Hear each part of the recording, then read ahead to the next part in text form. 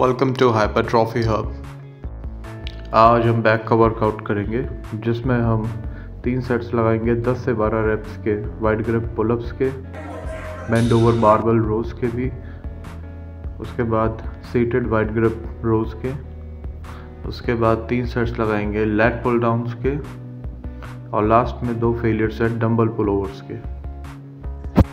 हम अपना बैक का वर्कआउट स्टार्ट करेंगे वाइड ग्रिप पुलअप से, जिसके हम तीन सेट लगाएँगे, आठ से बारह rep wide grip pullups back के लिए एक अच्छा वार्म अप एक्सरसाइज की तरह भी काम करेगा और हमारे बैक के मसल्स को पंप अप करके रेडी करेगा हमारे अगले पूरे बैक वर्कआउट के लिए.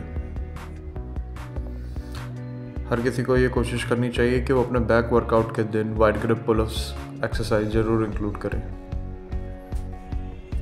बैक के लिए वाइड ग्रिप पुलअप्स करते हुए हमें कुछ बातों का ध्यान ज़रूर रखना है। एक तो कि हम लोगों को अपना कोर टाइट रखना है जब हम वाइड ग्रिप पुलअप्स लगा रहे हैं। और हमें अपने हाथों या कंधों का इतना यूज़ नहीं करना है जितना हमें अपनी बैक की मसल्स का यूज़ करना है अपनी बॉडी को ऊपर पुल करने के लिए।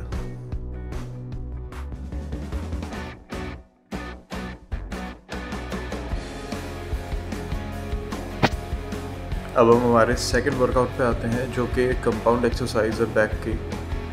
Bend over barbell rows bend over barbell rows back की एक बहुत अच्छी एक्सरसाइज है, जो आपकी बैक को एक अच्छी थिकनेस प्रोवाइड करेगी। बेंड ओवर बारबल रोज करते हुए थोड़ी बातें जो हमें ध्यान रखनी है, वो एक तो ये कि हम अपने बैक की मसल्स को पूरा नीचे तक लेके जा रहे हैं स्ट्रेच करते समय। और हमारी लोअर बैक बिल्कुल स्ट्रेट होनी चाहिए। हिप्स पे हमें हिंज करनी है बॉडी को, ना कि लोअर बैक पे।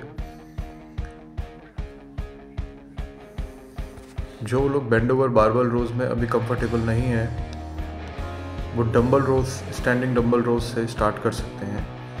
लेकिन बेहतर होगा अगर आप थोड़ा सा कम वेट लगा के अच्छी फॉर्म के साथ अगर आठ से बारह रेप भी निकाल सके बारबल रोज में, वो ज़्यादा बेटर होगा। इसलिए कोशिश करें कि आप बारबल रोज करें।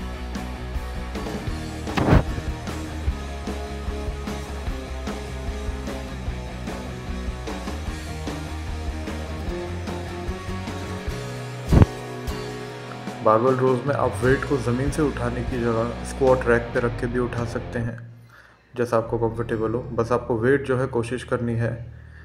जब नीचे जा रहे हैं तो घुटने से नीचे आपको वेट को लेके जाना है और ऊपर जब आ रहे हैं तो अपनी बैक की मसल्स को पूरा स्क्वीज कर रहे हैं। हमारी तीसरी एक्सरसाइज है सीटेड वाइड ग्रिप रोज आप ऊपर इमेज में देख सकते हैं कि वाइड ग्रिप रोज हमारे कौन कौन से बैक की मसल्स को हिट करता है। सीटेड वाइड ग्रिप रोज करते समय आपको अपना कोट टाइट रखना है बैक को स्ट्रेट रखना है। जब आप अपने मूवमेंट के एकदम टॉप पे हो तो आपको अपनी बैक के मसल्स को, अपने लैट्स को पूरा स्क्वीज करते हुए पीछे लेके आना है अपने हाथों को। और जब आप आगे जा रहे हैं तो आपके लेट्स पूरे खुलते हुए जाने चाहिए, आगे पूरा स्ट्रेच होना चाहिए। वाइड ग्रिप सीटेड रोज एक बहुत अच्छी एक्सरसाइज है बैक के विर्थ और स्ट्रेंथ बढ़ाने के लिए बिना अपनी बैक पे ज़्यादा ज़ोर डालें। कोशिश करेंगे आप इस एक्सरसाइज को perform lat pull down machine पे करें, ना कि केबल पुली मशीन पे, क्योंकि केबल पुली मशीन पे पुली होती है जो आपके रेजिस्टेंस को थोड़ा हल्का और इजी कर देती है।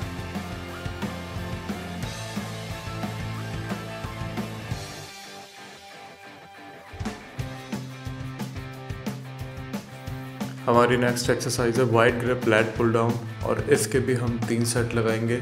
आठ से बारह रैप या दस से बारह रैप रेंज आप रख सकते हैं। आपको अपनी ग्रिप शोल्डर विड से थोड़ी सी दूर रखनी है और वेट को नीचे लेके आना है। कोशिश करनी है अपनी अपर चेस्ट अपनी अपर कॉलर बोन तक या अपने चिन से नीचे। आपको बार को लेके आना है और नीचे आते हुए आपको अपने लेट्स को पूरा स्क्वीज करना है। और ऊपर जाते हुए भी पूरा लेट्स आपके खुलने चाहिए। एक बात का ध्यान रखना है कि आपको वेट रेंज वो रखनी है जिसमें आपके 8 से 12 रेप्स निकल सके। अगर 12 से ज़्यादा आप आ रहे हैं तो मतलब वेट थोड़ा सा आपके लिए हल्का पड़ रहा है। थोड़ा सा आप वेट बढ़ा भी सकते हैं।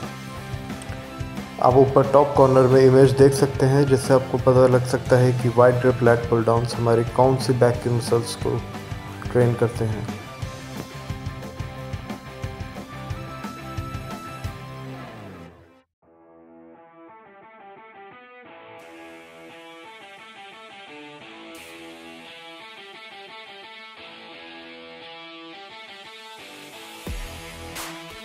हमारी आज की लास्ट एक्सरसाइज है डम्बल पुल ओवर्स इसके भी आप तीन सेट लगा सकते हैं, आठ से बारह रैप पर मैं यहाँ पे दो फेलियर सेट लगा रहा हूँ डम्बल पुल ओवर्स के डंबल पुलोवर्स एक बहुत अच्छी एक्सरसाइज है। थोड़ा सा आपको हैवी वेट से इसे लगाना है, लेकिन अपनी फॉर्म ठीक रखते हुए।